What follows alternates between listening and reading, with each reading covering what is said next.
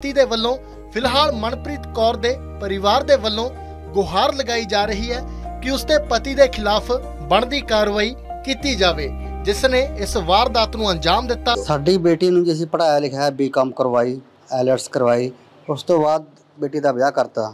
ਵਿਆਹ ਕਰਨ ਤੋਂ ਬਾਅਦ ਤਿੰਨ ਚਾਰ ਮਹੀਨੇ ਬਾਅਦ ਬੇਟੀ ਬਾਹਰ ਚਲੀ ਗਈ। ਉਸ ਤੋਂ ਬਾਅਦ 2 ਮਹੀਨੇ ਬਾਅਦ ਉਹਦਾ ਹਸਬੈਂਡ ਵੀ ਬਾਹਰੋਂ ਸਪਾਊਸ ਵੀਜ਼ੇ ਤੇ ਬੁਲਾ ਲਿਆ। ਤੇ ਅਸੀਂ ਬੇਟੀ ਨੇ ਬੇਟੀ ਨੇ ਬੁਲਾਇਆ ਸੀ ਬੇਟੀ ਨੇ ਬੁਲਾਇਆ ਜੀ ਸਪਾਊਸ ਵੀਜ਼ੇ ਤੇ ਅਸੀਂ ਵਿਆਹ ਤੇ ਪੂਰਾ ਖਰਚਾ ਕਰਿਆ ਜੀ ਪੂਰੇ ਪੈਸੇ ਲਾਏ ਤੇ ਉਸ ਤੋਂ ਬਾਅਦ ਅਸ ਬੇਟੀ ਚਲੀ ਗਈ। 6 ਮਹੀਨੇ ਤੋਂ ਬਾਅਦ ਉਹਨਾਂ ਨੇ ਸਪਾਊਸ ਵੀਜ਼ੇ ਤੇ ਉਹਦੇ ਹਸਬੈਂਡ ਨੂੰ ਬੁਲਾ ਲਿਆ। ਬਾਹਰ ਜਾਣ ਤੋਂ ਬਾਅਦ ਜੀ ਮੁੰਡਾ ਉਹਦਾ ਹਸਬੈਂਡ ਤੰਗ ਕਰਨ ਲੱਗਿਆ ਬੇਟੀ ਨੂੰ ਟੌਰਚਰ ਕਰਨ ਲੱਗਿਆ ਕਰਦਾ ਸੀ। ਉਹ ਨਸ਼ੇ ਕਰਦਾ ਸੀ ਡਰੱਗਸ ਲੈਂਦਾ ਸੀ ਤੇ ਉਹ ਤੋਂ ਪੈਸੇ ਮੰਗਦਾ ਸੀ। ਬੱਚੀ 14 14 ਘੰਟੇ ਕੰਮ ਕਰਦੀ ਸੀ ਕੰਮ ਕਰਕੇ ਵੀ ਉਹ- ਉਹਦਾ ਨਸ਼ਾ ਕਰਦੀ ਖਰਚਾ ਦਿੰਦੀ ਸੀ ਸਾਰਾ ਕੁਝ ਕਰਦੀ ਸੀ। ਤੇ ਉਸ ਤੋਂ ਬਾਅਦ 22 ਤਰੀਕ ਨੂੰ ਸਵੇਰੇ 4 ਵਜੇ ਸਾਡੇ ਕੋਲ ਕਾਲ ਆਉਂਦੀ ਹੈ ਸਾਡੀ ਦੂਜੀ ਬੇਟੀ ਦੀ ਜਿਹੜੀ 22 ਅਪ੍ਰੈਲ ਨੂੰ ਕੋਲ 22 ਅਪ੍ਰੈਲ ਨੂੰ ਸਾਡੇ ਕੋਲ ਕਾਲ ਆ ਰਹੀ ਹੈ ਜੀ ਸਵੇਰੇ 4 ਵਜੇ। ਸਾਡੀ ਬੇਟੀ ਦੂਜੀ ਬੇਟੀ ਹੈ ਅਮਨਦੀਪ ਕੌਰ। ਅਮਨਦੀਪ ਨੇ ਕਾਲ ਕੀਤੀ ਤੁਹਾਨੂੰ? ਹਾਂਜੀ। ਤੇ ਉਸਨੇ ਕੀ ਦੱਸਿਆ ਵੀ ਮਨਪ੍ਰੀਤ ਨੂੰ ਉਹਨੇ ਦੱਸਿਆ ਕਿ ਉਹਦੇ ਕੋਲ ਕਾਲ ਆਈ ਹੈ ਕਿ ਮਨਪ੍ਰੀਤ ਕੌਰ ਦੀ ਡੈਥ ਹੋ ਗਈ ਹੈ। ਤੇ ਕਿੱਥੇ ਸੀ? ਉਸ ਟਾਈਮ ਹਸਪੀਟਲ ਸੀ? ਕਿੱਥੇ ਸੀ? ਉਹਨੇ ਕੀ ਦੱਸਿਆ ਉਹਨਾਂ- ਪੁਲਿਸ ਦਾ ਫੋਨ ਆਇਆ ਜੀ ਵੀ ਡੈਥ ਅਮਨ- ਕੋਲ ਅਮਨਦੀਪ ਕੌਰ। ਕੈਨੇਡਾ ਪੁਲਿਸ ਦਾ। ਹਾਂ ਕੈਨੇਡਾ ਪੁਲਿਸ ਦਾ ਫੋਨ ਆਇਆ ਵੀ ਤੁਹਾਡੀ ਬੇਟੀ ਦੀ ਡੈਥ ਹੋ ਗਈ ਹੈ।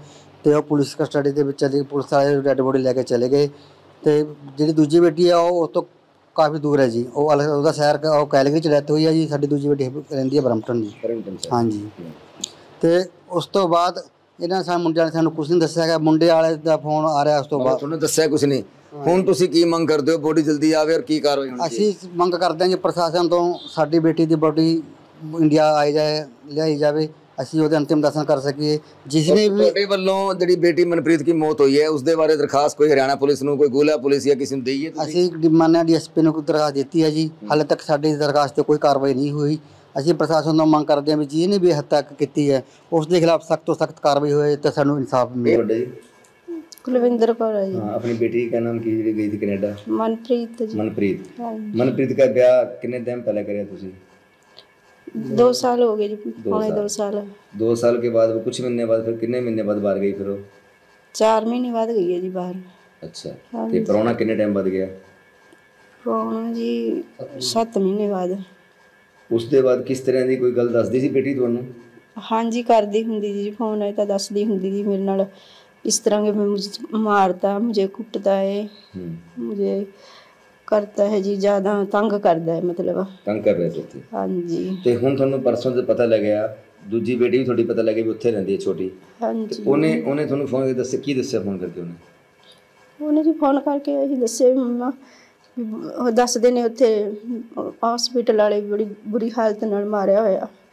ਇੱਥੇ ਨਿਸ਼ਾਨ ਗਰਦਨ ਤੇ ਨਿਸ਼ਾਨ ਪਏ ਹੋਏ ਨੇ। ਵੀ ਇਸ ਤਰ੍ਹਾਂ ਜਿਸ ਤਰ੍ਹਾਂ ਵੀ ਕੋਈ ਗਲਾ ਦਬਾ ਕੇ ਆਪਣਾ ਕੱਟ ਤੁਸੀਂ ਕੇ ਸਰਕਾਰ ਤੋਂ ਹਰਿਆਣਾ ਸਰਕਾਰ ਤੋਂ ਸੈਂਟਰ ਦੀ ਸਰਕਾਰ ਹੈ ਬੱਚਾ ਤੁਹਾਡਾ ਬਾਹਰ ਪਿਆ ਹੈ ਲਾਸ਼ ਉਹਦੀ ਉੱਥੇ ਪਈ ਹੈ। ਕੀ ਮੰਗ ਕਰਦੇ ਹੋ? ਕਿੰਨੀ ਜਲਦੀ ਬੋਡੀ ਇੱਥੇ ਆਵੇ? ਜਲਦੀ ਤੋਂ ਜਲਦੀ ਜਿੰਨੀ ਜਲਦੀ ਹੋ ਸਕੇ ਉਨੀ ਜਲਦੀ ਤੋਂ ਜਲਦੀ ਆਵੇ ਜੀ। ਤੁਸੀਂ ਕਿਸ ਤਰ੍ਹਾਂ ਦਾ ਇਨਸਾਫ ਚਾਹੁੰਦੇ ਹੋ ਸਰਕਾਰ ਤੋਂ? ਠੀਕ ਚਾਹੁੰਦੇ ਹਾਂ ਵੀ ਸਾਡੇ ਨਾਲ ਇਨਸਾਫ ਹੋਏ। ਅਸੀਂ ਉਹਨਾਂ ਨੂੰ ਵੀ ਪਤਾ ਲੱਗੇ ਜਿਸ ਨੇ ਸਾਡੀ ਬੇਟੀ ਦਾ ਕਤਲ ਕਰਿਆ। ਸਾਡੀ ਨੂੰ ਮਾਰਿਆ ਆਪੇ ਜੀ ਤੁਹਾਡਾ ਕੀ ਨਾਮ ਹੈ? ਕੁਲਦੀਪ ਕੌਰ ਹੈ ਤੁਹਾਡੀ ਕੀ ਲੱਗਦੀ ਸੀ ਮਨਪ੍ਰੀਤ? ਭਤੀਜੀ ਲੱਗਦੀ ਭਤੀਜੀ ਲੱਗਦੀ ਸੀ। ਤੁਸੀਂ ਦੇਖਿਆ ਬੱਚਾ ਕਿਸ ਤਰ੍ਹਾਂ ਦਾ ਬੱਚਾ ਸੀ ਬਹੁਤ ਸ਼ਰੀਫ ਆ ਬਹੁਤ ਠੰਡੇ ਸੁਭਾਅ ਦੀ ਤੀ ਜੀ। ਬਹੁਤ ਸਾਊ ਹਾਂ। ਤੇ ਮਤਲਬ ਤੁਸੀਂ ਦੇਖਦੇ ਹੋਣੇ। ਹਾਂਜੀ। ਤੇ ਦੱਸਦੀ ਹੋਗੀ ਤੁਹਾਨੂੰ ਇਹ ਵੀ ਦੱਸਦੀ ਤੁਹਾਡੀ ਦੁਰਾਣੀ ਵੀ ਤੁਹਾਨੂੰ ਦੱਸਦੀ ਹੋਣੀ ਹਾਂਜੀ ਹਾਂ ਵੀ ਕੀ ਦੱਸਦੀ ਸੀ ਲੜਕੀ ਨੂੰ ਤੰਗ ਪਰੇਸ਼ਾਨ ਕਰਦਾ ਸੀ? ਹਾਂਜੀ ਪਹਿਲਾਂ ਸ਼ੁਰੂ ਚ ਉਹਨੇ ਜਾ ਕੇ ਲੜਨਾ ਸ਼ੁਰੂ ਕਰੇ ਬੇਟੀ ਨਾਲ ਜੀ ਫਿਰ ਉਸ ਤੋਂ ਬਾਅਦ ਚ ਕੁੱਟ ਮਾਰਨ ਕਰਨੀ ਸ਼ੁਰੂ ਕਰਤੀ ਜੀ ਉਹਨੇ। ਹੂੰ। ਹੁਣ ਨਾ ਕੰਮ ਤੇ ਜਾਣ ਦਿੰਦਾ ਤੀ ਨਾ ਉਹਨੂੰ ਪੜਨ ਜਾਣ ਦਿੰਦਾ ਤੀ ਜੀ ਕੱਲੀ ਉਹ ਕਮਾਉਂਦੀ ਤੀ ਵਿਚਾਰੀ। ਉਹ ਘਰਾਂ ਰਹਿੰਦਾ ਤੀ ਮਾਂ ਨੂੰ ਕਹੀ ਜਾਂਦੀ ਤੀ ਮੈਂ ਕੰਮ ਤੇ ਜਾਣਾ ਇੱਕ ਵੀ ਪੈਸਾ ਨਹੀਂ ਕਮਾਉਂਦੀ। ਕੁੜੀ ਕਮਾਉਂਦੀ ਤੇ ਉਹੀ ਡਾਉਂਦੀ ਤੀ ਸਮਝ ਉਹਨੂੰ ਟੌਰਚਰ ਕਰਦਾ ਤੀ ਤੂੰ ਤੇਰੇ ਮਾਂ ਬਾਪਾ ਤੋਂ ਪੈਸੇ ਮੰਗਾ। ਹਾਂਜੀ। ਕੀ ਮੰਗ ਹੈ ਤੁਹਾਡੀ? ਉਸकी ਲਾਸ਼ ਜਲਦੀ ਇੱਥੇ ਆ ਜਾਏ ਡੈਡ ਬੋਡੀ ਇੱਥੇ। ਹਾਂਜੀ ਹਾਂ ਸਾਨੂੰ ਤਾਂ ਇਹੀ ਮੰਗ ਆ ਜੀ ਜਲਦੀ ਤੋਂ ਜਲਦੀ ਇਲਾਜ ਉਰੇ ਪਹੁੰਚ ਸਕੇ ਔਰ ਉਹਨਾਂ ਤੇ ਸਖਤ ਤੋਂ ਸਖਤ ਕਾਰਵਾਈ ਕਰੀ ਜਾਵੇ ਜੀ। ਉਹਦੇ ਮਾਂ ਤੇ ਉਹਨਾਂ ਤੇ ਬੇਟੇ ਜਿਹੜੇ ਤੇ ਹਾਂਜੀ ਜਿਨ੍ਹਾਂ ਨੇ ਉਹਦੇ ਨਾਲ ਇੰਨੀ ਬੁਰੀ ਹਾਲਤ ਕੀਤੀ ਹੈ ਉਹਨਾਂ ਨੂੰ ਉਹ ਮਿਲਣੀ ਚਾਹੀਦੀ ਸਜ਼ਾ ਜੀ ਸਖਤ ਤੋਂ ਸਖਤ।